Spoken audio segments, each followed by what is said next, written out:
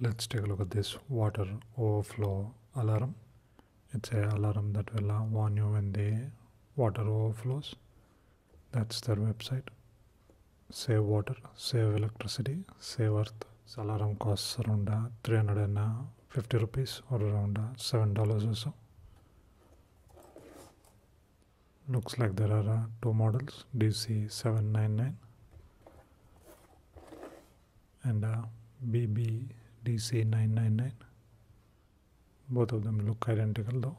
It's manufactured in uh, New Delhi, and this is what you get uh, inside the package. You get this alarm and nearly 15 meters of uh, copper wire. You're supposed to stick this in your tank, and uh, these leads go on uh, here.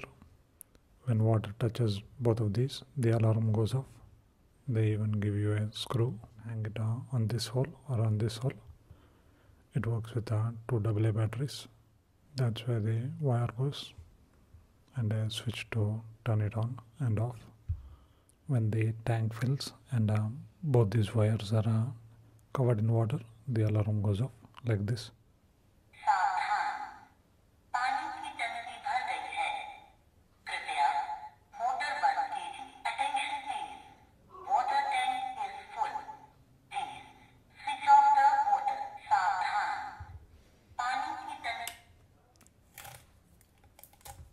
even though I covered up the speaker, it's quite loud.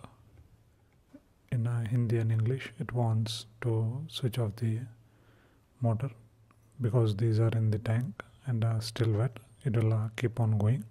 So you need to turn this switch off and uh, turn it on when uh, it's empty. It's quite a clever solution. Quite nice. Check it out.